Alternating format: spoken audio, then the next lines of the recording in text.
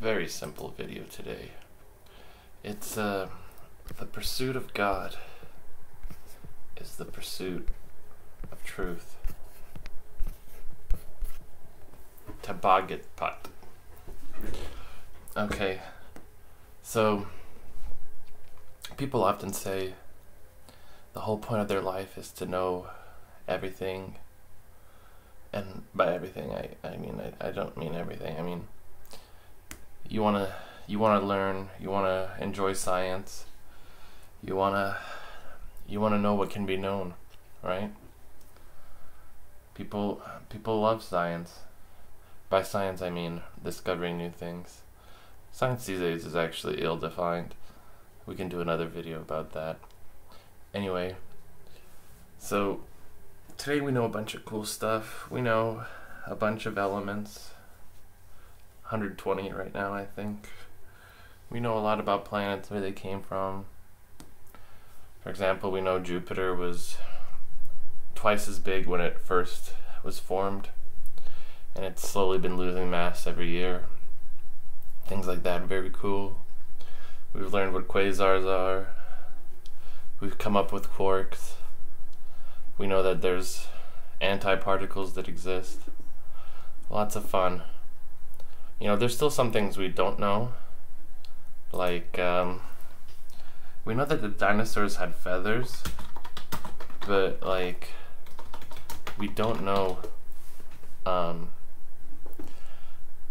exactly how much how much feathers they had, you know.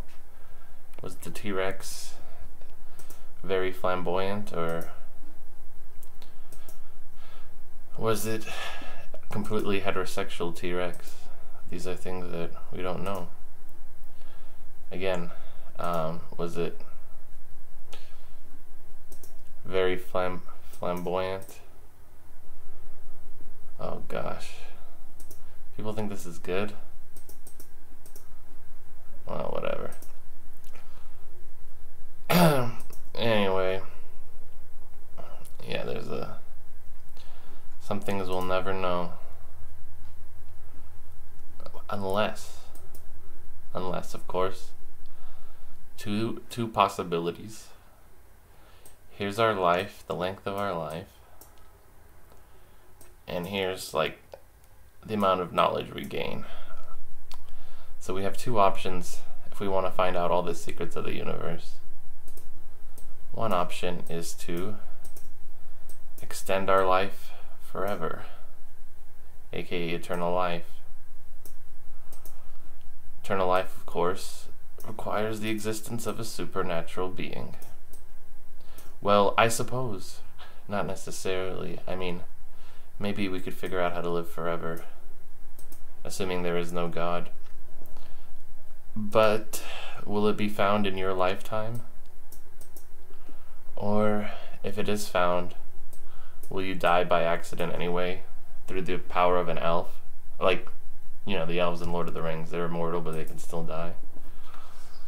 Um, so you're kind of taking a risk. The other alternative is to assume that one can gain infinite knowledge here and now. So, you know what, let's just assume at one point you obtain enlightenment. And you're not you learn everything. You find out whether the, the T Rex was a closet homosexual or you know, a regular family man. But uh, how's this gonna happen? How are you gonna find out anything? Everything. I'm gonna assume you'd require some sort of encounter with God.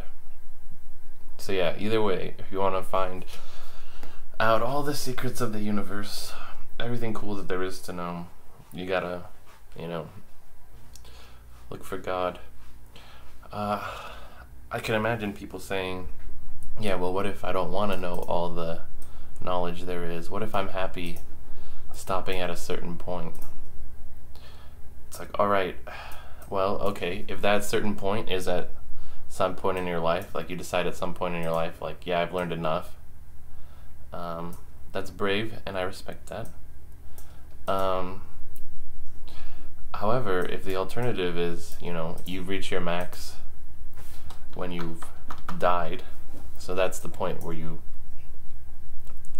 you're like satisfied um, with how much you've learned. Let's be honest. The only reason you're picking that point is, you know, you know you're gonna die, so you're saying that's good enough. If you could live longer, you know you'd be happy to learn more. And even if you set a point somewhere in the future, like let's say right here, but you died right here, well then, you know, you get you lived a less fulfilling life.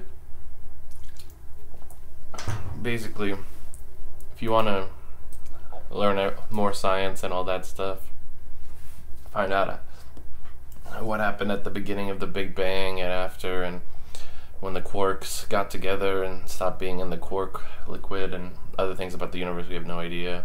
Things too far to see with telescopes, things that no microscope can show us. Well, the pursuit of God is the pursuit of truth.